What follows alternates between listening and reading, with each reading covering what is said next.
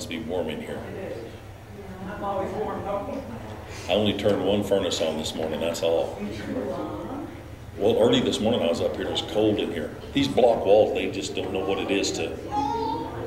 But somebody's very welcome to go turn it off, because it's definitely hot up here.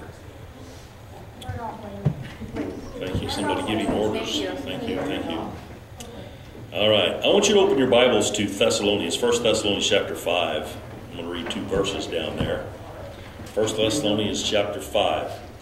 Now, if you can find Ephesians, I'm certainly you can find First Thessalonians because in this book. So I'm going to read two verses over here. This may be a different twist this morning, but I want to share this with you. And it's not anything that you don't already know. You can just read the news and figure this out. And so, uh, but I want to share this with you. Um, thank you, Connie. I loved your Sunday school. I'm sorry I missed part of it, but boy, that was good. Good. All right, I'm going to read two verses 23 and 24, okay? 1 Thessalonians chapter 5, verses 23 and 24. These are awesome verses. I read these just once in a while. I run over there and just read them because they're so good. Watch what the Bible says here. It says this, And the very God of peace sanctify you wholly. And I pray your, your whole spirit and soul and, and body be preserved blameless unto the coming of our Lord Jesus Christ. Faithful is he that calleth you, who also will do it. How many believe God's faithful? Amen? Amen. You believe he's able to do what he says? He bet he's able. Everybody say holy. holy. Now we're not talking about holy as in, you know, sanctified, but we're talking about holy as in complete. All right? So the Bible says that he says, and I love the way Paul said this, in the very God of peace sanctify you. How many of you know what sanctify means? Set you apart, right? Set you holy, spirit, soul, body. He says that, he says, and preserve blameless. How many of you is he preserved? You want to be preserved? Well, that was kind of weak. How many of you want to be preserved? I do. How many like preserves? Ooh, me too. The other day we went, this is the rabbit trail, but let me run this rabbit down. We went down to the, uh, the 99 cent store. How many of you ever been there for? Well, I just walking down the aisle minding my own business, and this little thing is about like this little square jar about like that, and it looked like strawberries. And I thought, I wonder what that is. So I picked that up and I said, hmm, strawberries. I want that. So I bought it for 99 cents. I brought it home and woo, buddy, it was worth every dime of it. It was preserves. All it is is strawberries. And what do you add to the strawberries to make it? Pectin, that's all it is. You guys are all preservers. Whatever that is. I don't care what it's good. I don't know. You caught it on there. It's good. But God wants to preserve you. Now, last last uh, uh, Wednesday night we were talking about out of uh, First John. The Bible says that uh, and I, I, I read this verse a thousand times. I was telling them Wednesday night. The Bible says that, uh, you know, uh, He's not given us a spirit of fear, but of love and of power and of a sound mind. And uh, did you know that in these days, God knows how to preserve you in times of trouble? Yes. Amen? Yes. Good. I'm glad y'all agree. Um, did you know God's in control and He's bigger than everything that's going on? And did you know that even though there's darkness in the world and there's the darkness and gross darkness, the Bible says covers the people, it's ugly, it's getting darker, it's getting blacker, it's getting, but God's light is shining brighter and brighter and brighter. And I want to tell you something. Uh, you know, it's amazing to me how you read the book of, of Exodus and listen to me real closely. God made a difference. I said, God made a difference. Now, if anybody's going to make a difference, it's going to have to be God. Because I want you to know that you're not popular as a Christian. Did you know that? You're, it's getting worse all the time. And I don't know if you've realized this or even if you knew this, but in America, they want to remove God completely. Well, unfortunately, that's the wrong direction to go, and it's going to get ugly. And uh, I, I, I, don't know if you know this, maybe we live a protected life, but you know, around the world, it's not pretty. Christians are getting beaten and crucified and beat up and, and killed all the time. Everybody say, I'm thankful. I live in America. Uh-huh. You ought to be thankful. Because if you're a Christian and you live in, uh, we'll just call it maybe Saudi Arabia, they'll shoot you. If you pack a Bible around, they'll hate you. Um, they don't. They don't put up with it. I wonder why. Have you ever asked yourself the question, why is that? Oh, well, I mean, what's what's the threat here? What's the threat? It's just a book. Oh, but there's power in those words. You say, oh, God's dead. No, he ain't. Ask Saudi Arabia if they want a Bible. They don't want no Bible. Ask Pakistan. Ask any Muslim country. Do you want a Bible? I'll give you one. No, they don't want one. Why? Because it represents power. It represents real, you know, the real deal. It's the truth. You know, we was talking about this the other day, and I want to get back to my, my, my talk about on Wednesday night there for a minute, but we were talking about, um, I, I, I know that you understand this, but all around the world, you know, Christians are not welcome. They're not loved. That's right. They hated Jesus and they're going to hate you. Might as well get used to it. That's why we better learn. I was asking myself a question just a minute. We better learn to pull together. And I was watching y'all out there going round and round. I'm going, I really wonder if we love each other that much. You know what I mean? Oh, bless you. I love you. But back at home, how do you treat me? What's going on behind the scenes? Do you really love me? Do you really love this church? Are you able to just give because you want to? Or is it because, well, I feel like I'm obligated? Yeah, you have no obligation. You either do or you don't. Jesus wasn't obligated to love me. He did because he couldn't help himself. Now, you see, I want you to hear me, and I want you to get a handle on this because we was talking about it Wednesday night, and I got to say this because it's important. Did you know that the, the Bible says perfect love casts out fear? Remember? Remember what I was talking about? And remember, it was talking about judgment. In the day when Jesus returns, the judgment of God has no worry for me. It has no fret over me because I'm not appointed to God's wrath. How about you? Amen. I am not going to go through the wrath of God. No, sir. Because God makes a difference. You got me? Let me tell you something. If you're if you if you think you're going to go through God's wrath, you need to write the Bible. Because he said, You are not appointed unto wrath. How many of you know God's not mad at you? There will come a day when God's anger and his furiosity will be, well, I got some scripture for it, but there's coming a day when the cup of his indignation is going to be like, well, it's full. Uh, can I tell you something? I've taken a glass before and filled it up to where it's just right on the edge and it's just shaking right there. Just before it runs over, I think that's where we're at. I really do. I think that we're God's cup is just so full, just a little bit more, and it's going to run over, and then you better pay attention. Listen, one more time, let me say it again. It's better to fall on the rock and be broken than it is to have the rock fall on you and grind you to powder. Did you know that God's able to grind you to powder? The Bible says to fear the God that can not only kill your body, but can send you to hell and God don't send people to hell, but I'm just trying to make a point here. There's so much out there they don't fear God. They act like he's just, you know, it bothers me the man upstairs. He ain't the man upstairs, folks. He's the God of creation, the Almighty. Now I gotta I gotta just say this, and I just want to run through, and I don't want to talk about end time things particularly. Uh, you know, I, how many of you believe that I always, and I want you to hear me, I believe Jesus is coming. There is no question. He will come back just. How many of you believe the Bible?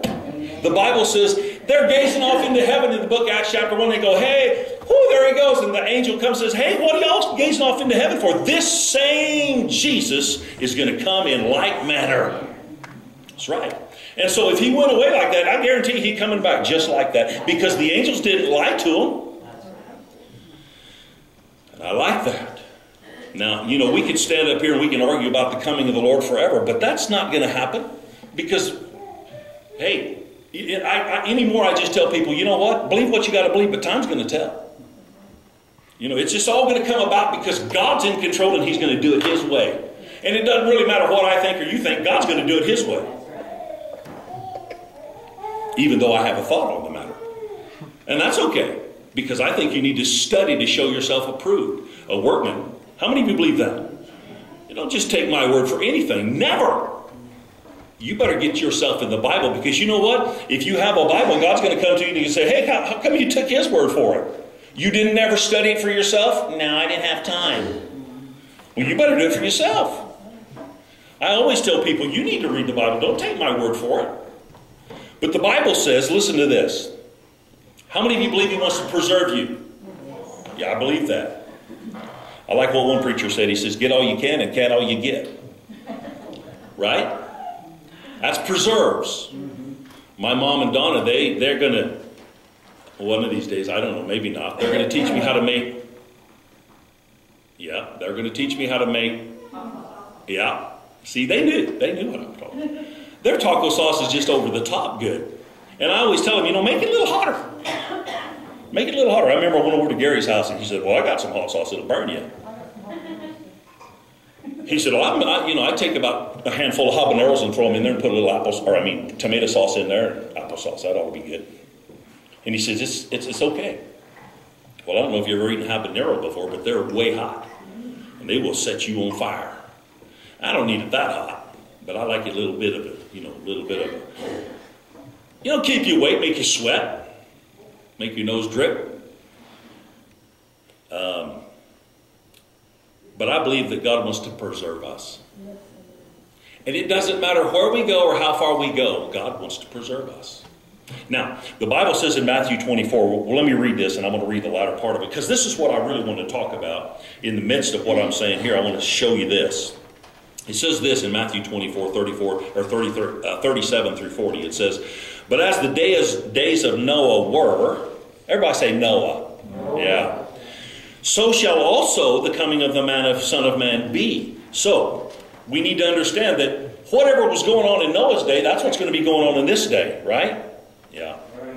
For as in the days that were before the flood, they were eating and drinking, marrying and giving in marriage until the day that Noah entered into the ark and knew not until the flood came. Well, isn't that amazing? Noah had preached for 120 years. Boys, get ready. God's fixing to come. You, I'm going to read to you out of Genesis in a minute because it's important. He, listen, I'm just going to keep reading. And knew not until the flood came and took them all away, so shall also uh, the coming of the Son of Man be, then shall two be in the field, the one shall be taken, the other left. Look at this now. This is in Genesis, and you don't have to run back and forth because I just have scriptures here. Genesis 6, 5 through 9, and the Bible says this concerning that particular day. And God saw that the wickedness of man was great in the earth, and every imagine, imagination of thought of his heart was on evil. How often? Everybody say continually and it repented the Lord that he made man on earth, and it grieved him at his heart. And the Lord said, I will destroy man whom I have created from the face of the earth, both man and beast and creeping thing, and the fowls of the air, for it repenteth me that I have made them. But Noah, everybody say Noah. What did he find? He found favor, he found grace. Same thing. In the uh, eyes of the Lord. Everybody say, I found grace. Right in the eyes of the Lord. You're right. And guess what? The flood came and the flood went, but guess who lived? Noah. Who all got took away? All the evil people died. I haven't seen the movie Noah, and I guess I won't now after Connie's little speech on it. I'm I could go see it anyway because it ain't going to change my mind. How many of you know God didn't destroy the earth because uh, men was destroying the earth?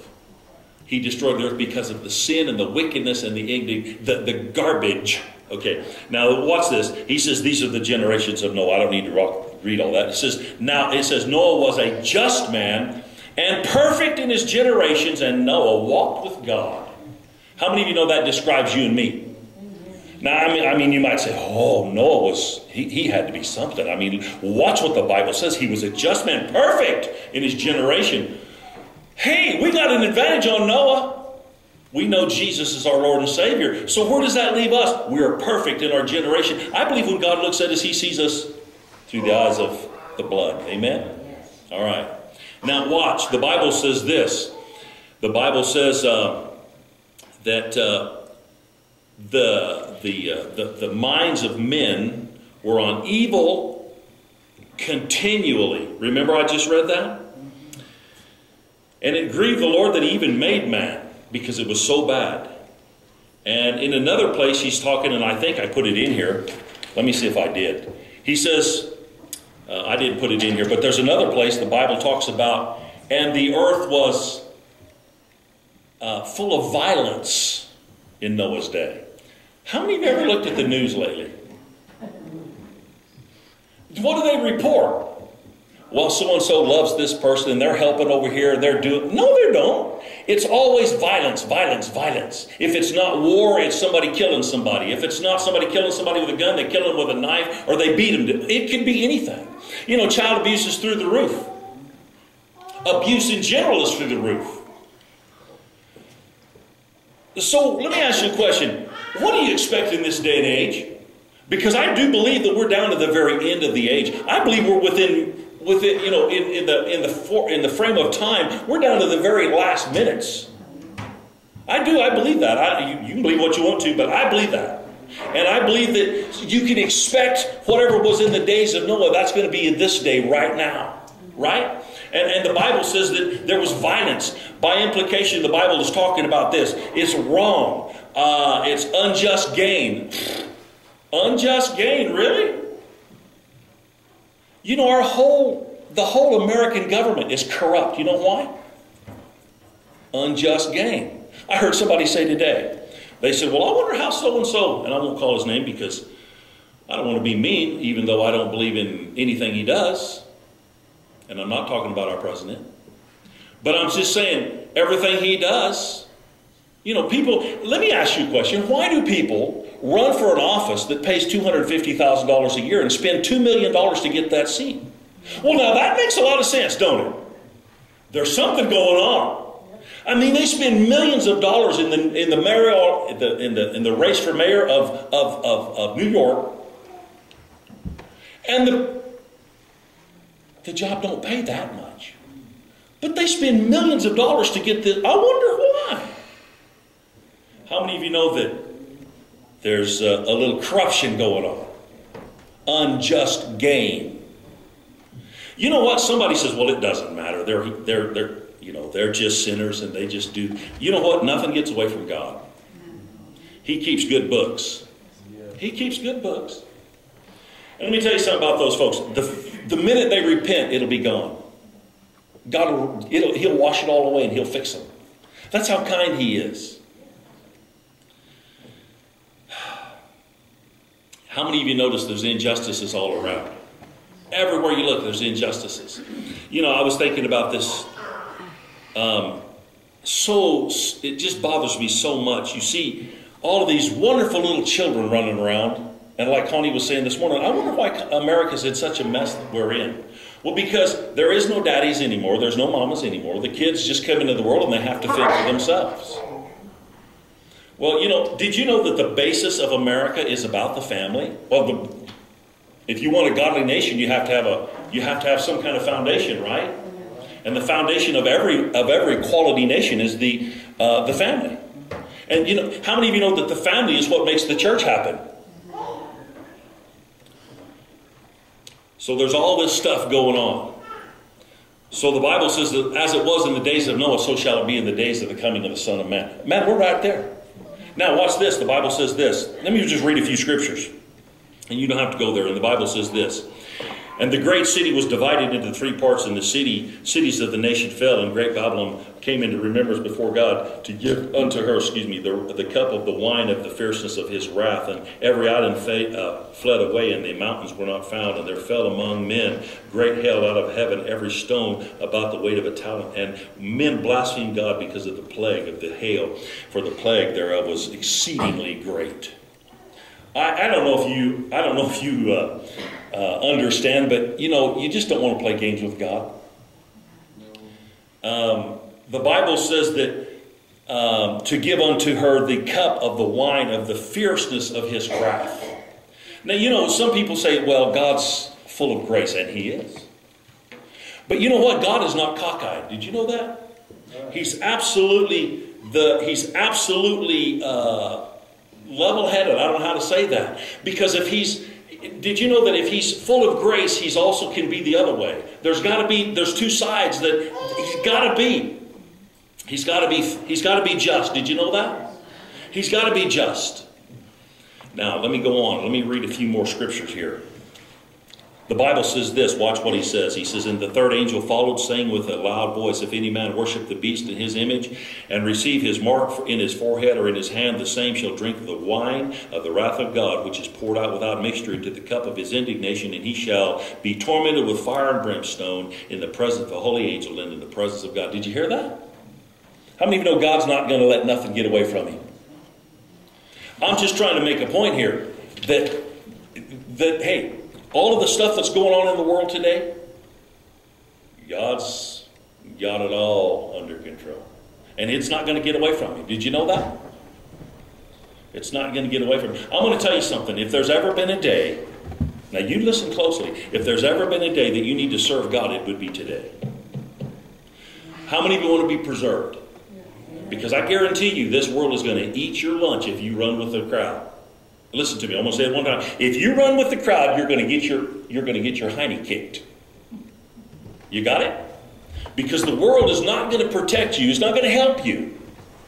You hear me? You're going to need Jesus. And he's your only preservation.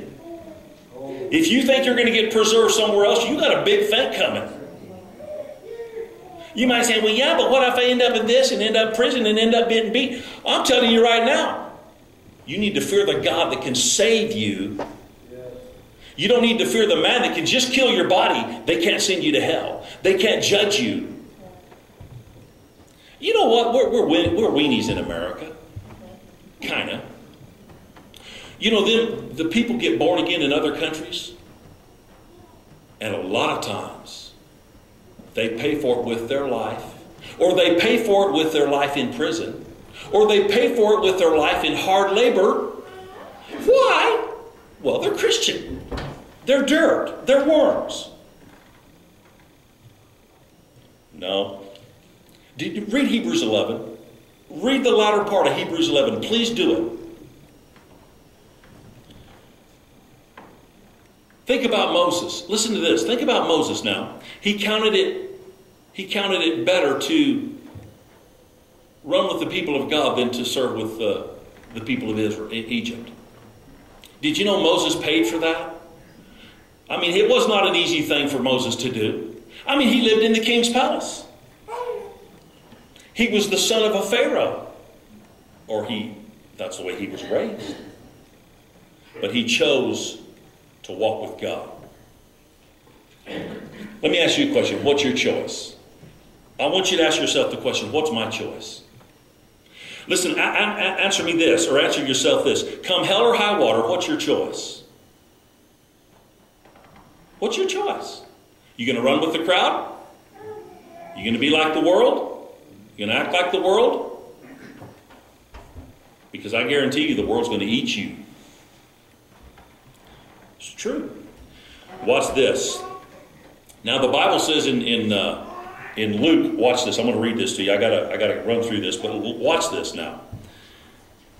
Well, let me give you one more on Noah. It says, "But, but with thee, Noah, will I establish my covenant, and thou shalt come into the ark, thou and thy sons, and thy wife, and thy sons, uh, and the wives with thee." Did you know that when he went into that ark, I could preach on the ark, but did you know when he went into that ark, he did not have the power to shut the door to that ark? It was so huge.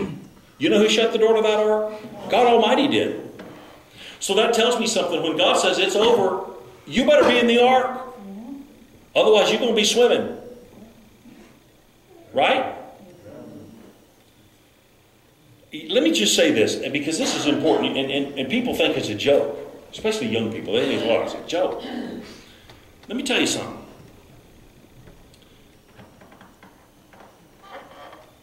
If you don't get in the ark, Everybody, everybody understand you got to get in. How many of you know if you want to come to church, you have to get up and you have to drive down here and you have to walk in the door? If you want to get in the ark, you have to make the decision. I'm getting in that ark, dude. Did you know that God, God's done everything? Did you know Jesus went to heaven? He sat down. You know why? Because he did everything that had to be done to get you in that ark. He don't have to do anymore. All you need to do is understand that he saved you, he delivered you. He did it 2,000 years ago. You need to respond to that, and you need to get yourself in the ark because it's going to start raining. And it's going to start raining the wrath of God. That part of it in Revelation, it sounds like it sounded like Noah's day. The Bible says that, that it, it, the hills disappeared and, and, and it. I'm going to tell you something. When God starts to shake your world, you need to thank Him because He's just trying to wake you up. The Bible also says this. The Bible, read this. The Bible says in Luke 17, now watch, you need to read this. It says, And as it was in the days of Noah, so shall it be in the, also in the days of the coming of of Man. They did eat and drink, marrying wives, given in marriage until the day Noah entered in the flood, into the ark, and the flood came and destroyed them all. Likewise, also in the days of who? Everybody say Lot. Uh oh. They eat and drink, drank, broke, sold. They planted and they built. Everybody say the days of Lot.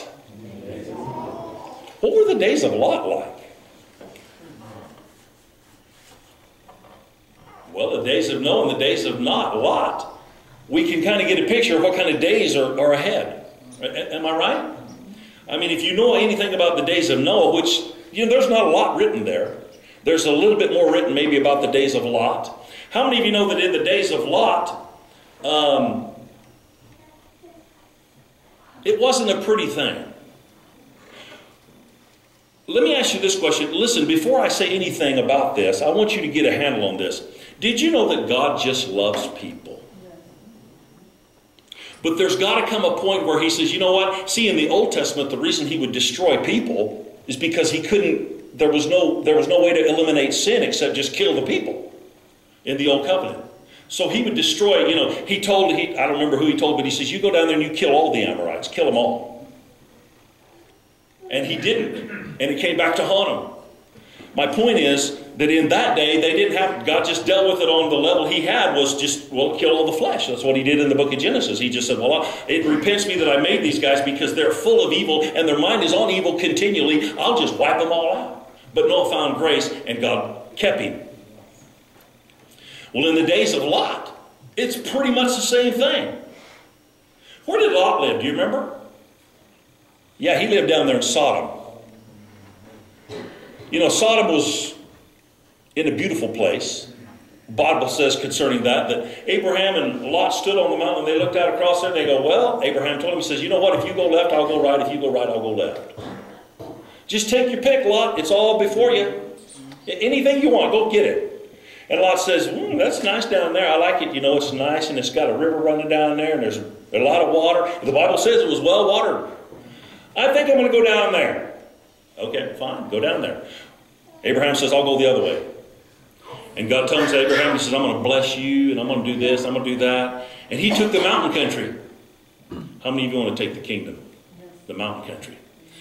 Anyway, Lot goes down there and he settles in the city of Sodom. That just sounds dirty, don't it? I don't know. And you know, I, I, I, uh, I, know that, I know that you're not called to be a judge, and I'm not judging. But the fact remains that the city was so evil, God destroyed it.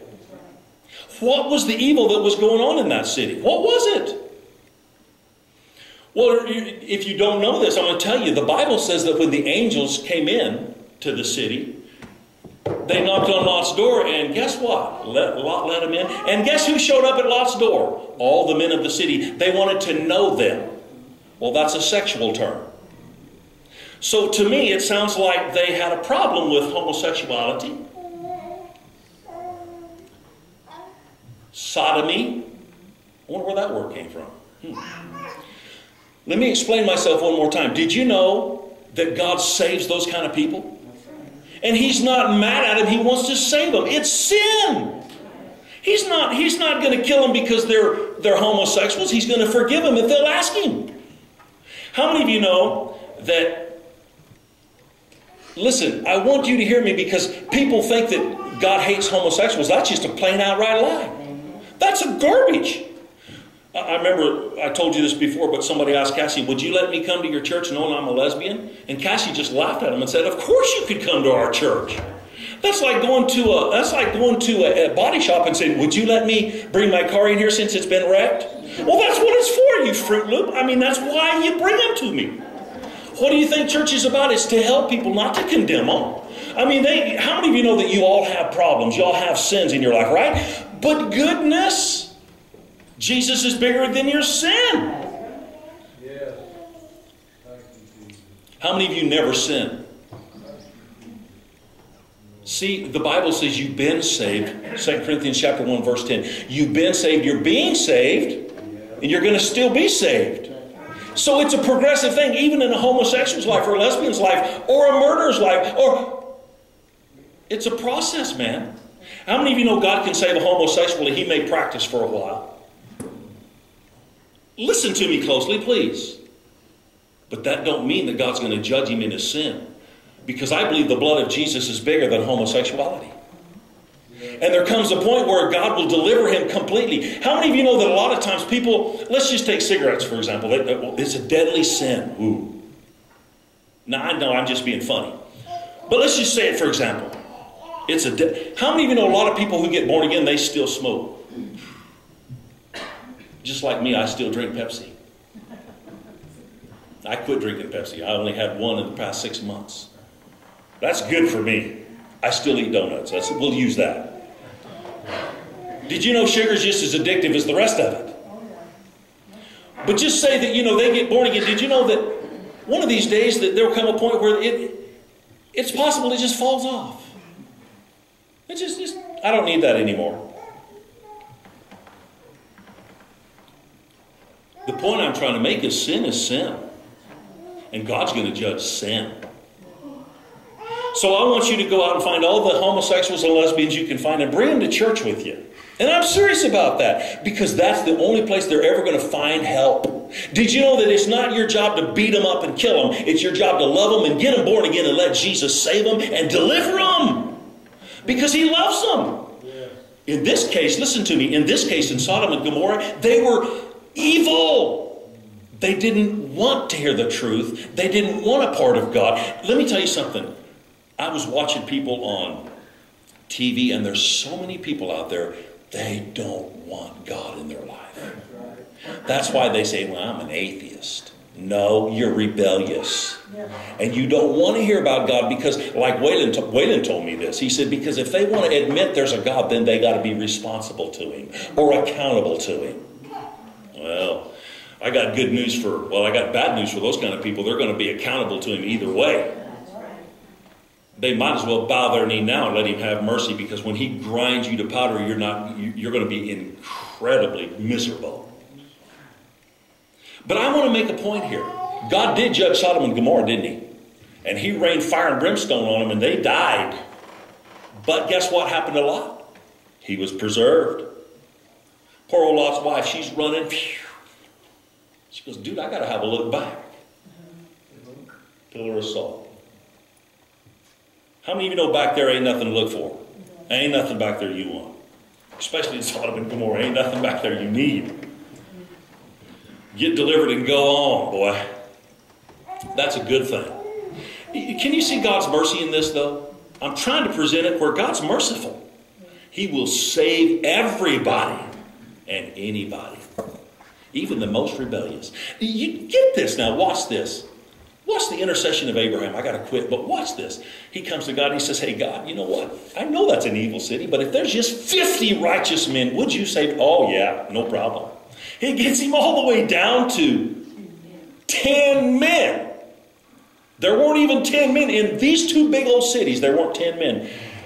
And Abraham's going, Well, and God, God agreed. He said, If you can find me 10, I'll keep it. Just 10. I'll keep it. No, couldn't do it. They couldn't find even 10 men. What an evil place. Abraham said, Okay, God, you win. What can I say? And he burned it. What a merciful God. You know, can you see that the mercy of God endures and endures? You know, a lot of times me and you, we look at people and you say, I don't know why God don't just kill them. Come on. You've never said that, have you? Well, you righteous crew. Why don't God just take them off the earth? Because He's merciful and He's merciful and He's merciful, and you're going, Oh God, please, I get tired of your mercy. Please help us on this guy. No. God's mercy just reaches and reaches. And you worry about going to hell. You're, there's something wrong with you. God is so merciful if you just call on Him. Did you know what? You can be a, a practicing lesbian, homosexual, murderer, backbiting, fat fool. How's that? Boy, you get all of it in there. And did you know when you get on your deathbed, if you really understand and you repent, guess what will happen? He'll forgive you. You know what? It's going to shock you who made it to heaven and who didn't. Because I believe people, I believe even atheists on their deathbed, they're going, hmm, boy, you know what? I preach this, but I don't know for sure now. Are you sure about that? No, I'm not sure about it. And you know what? Even though they deceived a lot of people, God will forgive them right there. I re- Jesus said this He said, Father, they killed him on purpose. Forgive them. They don't know what they're doing. Isn't it amazing? Well, there's a whole lot to be said about this, but you get my point that uh, God's merciful, but He does judge sin. And let me tell you something we're living in the days of Lot and of Noah. It's all around you. Just look around.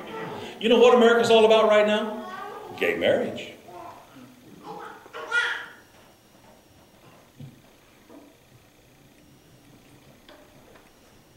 And they kill baby by the millions. But there's going to come a day when God's going to say, okay, I gave you all the chances I can give. Now it's time. And He will pour out His wrath. And He will show His anger. And I don't want to be part of a God who sits in heaven that's angry. I want you to know that uh, the, the God we serve, whether the atheist or anybody else wants to believe it, he has everything in very, very tight control. There ain't nothing getting away from him. I think it's a time to repent, don't you? Yeah. See, we need to we need to repent. Say, Lord, I've been really hard on people. How many of you know I am not for lesbianism or homosexuality? I'm not for sin, but I'm not for killing the people either. I'm for getting them saved. But you know, we're so, Christians are so mean. I watched Jermaine yesterday when I spoke to her. You know, Jermaine's, let me say it this way. Can I just be honest? Jermaine is outspoken, but she's not mean. She'll tell you how she feels, but she's not mean. Everybody say she can speak the truth, but it'll just be love. I love you so much. But this is the way it is. Right? How, how hard is that? That's good. ain't mean. Right? Jermaine will give you anything she's got because she truly loves people. Right? Same way with Jesus. He'll give you everything you ask for, but buddy, I'll tell you what, he'll speak the truth in love. He won't cut no slack for you or me. Did you know that? Well, I'm so and so. My daddy was a preacher, my granddad, and my. I was born among preachers. It ain't going to matter to God. He's going to hold you accountable for your own personal life. And that's the bottom line. Well, anyway, now I'm not going to preach on this anymore because I'm going to quit. But I want you to go home and read Romans chapter 1 and 2, will you? Everybody say Romans 1 and 2. Because it'll give you the, the end result of everything I'm talking about. How many of you know, listen to me, one more scripture, it's in Galatians, and I'm going to give it to you. I'm just going to say it. God is not mocked. No, you can laugh at God all you want, but God, He's not mocked. You're going to reap exactly what you sow. Man, I wish people could hear that. I wish I could get an atheist by the ears and say, you know what? God's not mocked. Laugh all you want. Think anything you want, but someday you're going to be the one that's crying out, please, God, have mercy. And tell him, you know what? Do it now. Fall on the rock and be broken, please. Somebody says, Well, why'd you share all that with us? I don't know. Just because I want you to know what day you're living in. You know, you look around and you go, Well, I can tell maybe it's going to rain tomorrow, but you have no clue what time it is spiritually. It's time. We're down to the end. Repent. Everybody say, Repent.